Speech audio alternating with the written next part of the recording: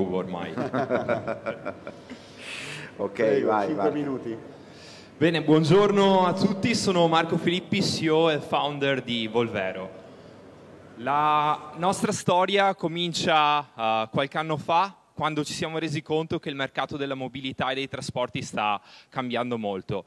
In particolare immaginiamoci di essere in una magnifica località turistica, come potrebbe essere Bisceglie. Arriviamo qui e probabilmente una delle prime cose che facciamo dopo aver lasciato il Digiton è voler esplorare il resto della costa e delle aree circostanti. Cosa vogliamo fare? Prendiamo un auto a noleggio, viene naturale farlo. Ma la mia domanda per voi è, com'è stata la vostra ultima esperienza con gli autonoleggi?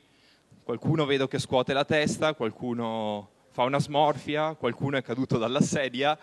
E quindi sì, probabilmente la vostra esperienza non è stata uh, incredibile. Ci sono dei grossi problemi col servizio di autonoleggio, è un servizio che è molto costoso, di cui termini e condizioni non sono mai chiari e anche poco user friendly. Quindi per questo motivo abbiamo creato un'app per mettere in contatto chi ha dei veicoli a disposizione con chi vuole noleggiarne uno in maniera semplice e veloce. In particolare stiamo offrendo il servizio lato proprietari di veicoli a car dealer e car rental, quindi autonoleggi e eh, rivenditori di auto, che in questo modo possono non solo digitalizzare il loro servizio, ma anche attivare una nuova uh, business line. Quindi i, i, auto, i, rivenditori di auto, ad esempio, possono fare un test sul noleggio dei, dei veicoli grazie alla nostra tecnologia. Forniamo il servizio anche ad aziende corporate, questo perché ci dà la possibilità di andare a riutilizzare le flotte di veicoli che non sono utilizzate durante uh, i momenti in cui non servono per attività produttive, ma anche la grande innovazione di Volvero è stata quella di aver introdotto i proprietari privati nel modello. Quindi grazie a dei termini e condizioni e a delle polizze assicurative che abbiamo sviluppato internamente con delle partnership anche esterne, siamo riusciti a estendere il servizio anche a quei proprietari privati di veicoli che vogliono in questo modo condividerli con le community uh, di persone attorno a loro. Qualche parola sul team, siamo tre fondatori, come vedete sembra quasi una barzelletta, c'è l'italiano, c'è il nigeriano e c'è il turco. Eh, io ho esperienza in ambito finanziario, ho studiato uh, entrepreneurship in Silicon Valley dove ho anche lavorato per un fondo uh, di mobilità, quindi ovviamente mi occupo di eh, management, gestione del personale, gestione della parte finanziaria e anche di business development. Uh, il mio CEO, Caiode, ha esperienza di più di dieci anni in uh, progetti complessi, ha lavorato da Amazon, da Non, quindi si occupa ovviamente poi di gestire anche la parte più operativa, mentre il nostro esperto tecnico, Emre, ha già avuto esperienza anche come CEO di una startup che faceva InsurTech ed è quindi stata la perfetta persona per andare a integrare, integrare il team. Abbiamo ovviamente anche un uh, advisory board con consulenti ed esperti in ambito marketing, in ambito digital e ancora in ambito IT perché ovviamente è molto importante per quello che facciamo. Non c'è nel, nel, deck, però abbiamo ovviamente dei brevetti per come utilizziamo la tecnologia, facciamo raccolta dati sui sensori dei telefoni cellulari degli utenti, quindi siamo in grado di capire quanto bene una persona sta guidando e dare dei punteggi di guida anche andando a usare delle referenze eh, basate su Google Maps. Questo viene poi registrato in un sistema di uh, blockchain dove vengono utilizzati tutti i dati che vengono registrati per poi andare ad implementare un sistema di gamification dove se guidi bene ti diamo dei punti che puoi spendere per utilizzi futuri o con il nostro network. Siamo attualmente supportati da diverse istituzioni, alcune uh, soprattutto in ambito tech e startup, investiti da Impact Hub Milano dal 2019. Abbiamo raccolto 300.000 dallo IAT, Climate Kick e Urban Mobility e abbiamo anche partecipato alla uh, Startup School di Y Combinator. Uh, quindi siamo adesso alla ricerca del nostro prossimo round di finanziamento che è di 1.400.000 euro, è già committato in parte, siamo attivi principalmente in Nord Italia ma abbiamo anche dei progetti pilota attivi all'estero che andremo poi a sviluppare nel corso del prossimo anno. Quindi sono qua per il resto della giornata. Signore e signori, sono Marco Filippi, amministratore delegato di Volvero. Grazie.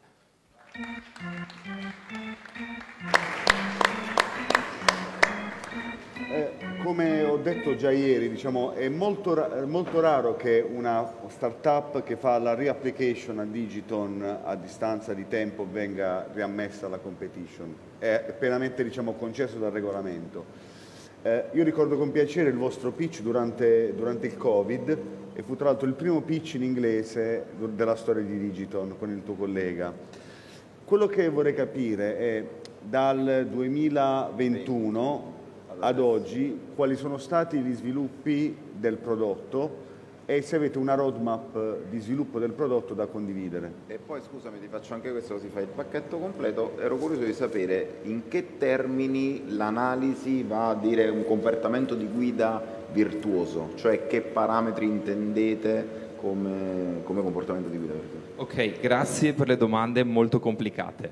Partirei dall'ultima di Ennio. Allora, i parametri che utilizziamo sono uh, derivanti dai sensori dei telefoni cellulari, quindi GPS, giroscopio, accelerometro, così siamo in grado di capire la velocità a cui una macchina viene guidata, un'auto, un veicolo, una moto, un camper, abbiamo diverse tipologie di veicoli in piattaforma, quindi siamo in grado di capire la velocità, siamo in grado poi anche di analizzare eh, ben, di parametrizzarla su dei benchmark, quindi capire se la velocità è stata troppo alta troppo bassa, se ci sono state delle accelerazioni eh, troppo brusche, delle frenate troppo brusche e stiamo anche testando dei modelli sul digital twin per capire come un veicolo sulla base di questi dati sta performando rispetto a come questo veicolo avrebbe dovuto idealmente performare. Però questo è in fase di test, fa anche parte diciamo, della roadmap per, per il futuro. Uh, dal 2021 ad oggi ovviamente è cambiato tantissimo, siamo riusciti ad andare live ufficialmente, questo è successo a dicembre 2022, prima erano solo dei progetti pilota o dei private beta, ovviamente il Covid ha avuto un impatto fortissimo sul nostro servizio che è mobilità condivisa, quindi siamo dovuti stare, stare, in attesa per un paio d'anni, però nel frattempo abbiamo comunque continuato a sviluppare la tecnologia, l'app, abbiamo depositato quattro brevetti, eh, quindi sì, ci siamo sviluppati molto. E come fate su iOS a prendere questi dati quando eh, il cellulare diciamo, è in stand-by? Allora, diciamo che quando comunque eh, sei in quella finestra per la quale stai guidando un veicolo noleggiato su Volvero la, abbiamo la, comunque l'accesso ai, ai, dati per... Okay. per, per però eh, diciamo in, in background eh, non credo si possa fare questa cosa su, su iPhone come costante controllo dei dati dell'accelerometro. Allora, adesso qui entriamo sul tecnico, io mi occupo di un'altra cosa, Chiaro. presumo di sì perché funziona. No, perché però... si, potrebbe, ti do un'idea, magari, potreste magari sviluppare un, un, accessorio da mettere alla presa OBD della macchina e avete tutto. Allora, ce ne, sono, ce ne sono già tante startup che lo fanno, anche in, alcuni dei nostri competitor stanno provando a farlo internamente eh, diciamo che in prospettiva futura si può pensare di integrarlo, ad oggi vogliamo comunque tenere la soluzione come software only, con ovviamente alcuni limiti, ma anche con eh, molti vantaggi che sono uh, la facile scalabilità a livello, sì. eh, a livello diciamo, sia nazionale che anche internazionale. Secondo me l'idea è molto valida eh, la challenge che secondo me avete già superato è quella relativa alla copertura assicurativa che diciamo, sì, eh, se dite diciamo, di aver diciamo, eh, smarcato diciamo, quella, ehm, cioè quel punto nella to-do list siete già avanti, il resto è sviluppo software. Vediamo se ci sono domande, sì ce ne sono due, partiamo, passiamo il microfono. Sì, grazie per la presentazione. Una domanda era sulla traction, perché è uno dei criteri per la selezione e non ho sentito nulla, quindi volevo sapere che numeri avevate fatto sino ad ora. Sì, uh, abbiamo più o meno un'ottantina di veicoli a disposizione, principalmente in area Veneto perché è dove abbiamo lanciato e dove ci stiamo focalizzando per comunque far, far crescere il, il, nostro modello. A livello di traction anche in termini di download, considera che da quando abbiamo lanciato tra il 2000, fine 2022 e inizio 2023 abbiamo fatto 4500 download, che sono comunque tanti considerando che non abbiamo speso poi più di tanto in budget marketing. Dobbiamo un po' migliorare nella fase di uh, conversione tra poi download e chi paga per l'utilizzo dell'app e infatti adesso ci stiamo focalizzando molto nel miglioramento della user experience sull'ultima, sull'ultima parte del funnel. Grazie. E quant'è la conversione, scusami? Questo è un dato riservato che possiamo Vabbè. discutere in privato. Ciao, sono Giacomo di Amazon, eh, complimenti per, per, l'idea della realtà, sono curioso sui next step, eh, anche capen- cercando di capire come utilizzerete il, il, fondo che cercate da 1 milione e 4, quanto è per eh, effettivamente scalare il modello o quanto altrimenti è sul creare magari nuove linee di business, un modello magari SaaS, sul capire come può essere utilizzato da tantissimi player dell'industria come assicuratori, uh, brand, quello che state creando sul controllo del guidatore? Eh, questo milione 400 mila che stiamo cercando ci dovrebbe intanto dare una runway di ulteriori un anno e mezzo, portandoci a due anni a partire da quando poi chiuderemo uh, il round, che si spera prima della fine dell'anno. Eh, verrà investito un terzo in marketing perché ovviamente per la, eh, far scalare un business come il nostro fa tanto anche il marketing, quindi hai il costo di acquisto del cliente che è X, più soldi metti, più clienti attiri. Quindi ovviamente una parte consistente in marketing, soprattutto per comunque espanderci nel nord, nord centro-nord Italia e poi anche per comunque fare delle attività all'estero che come ho detto ci stanno già vedendo impegnati. Abbiamo già fatto un progetto pilota l'anno scorso a Bruxelles e partiremo adesso con un altro progetto a Malta e tra poco dovremo anche farne un altro in un altro paese. Una parte del round verrà ovviamente investito in ricerca e sviluppo, e, mm, e, poi una piccola parte anche per testare nuovi modelli come, come descrivevi tu, circa il 10-15% del round. Va bene, grazie mille. C'è, non C'è domanda, una, una, una, sì. ma una, una mano alzata là in fondo. Eh, sì, volevo chiedere, ho visto che avete 135.000 euro di fatturato, non so se mi sono perso qualcosa, se puoi dirci di più su come come li avete fatti?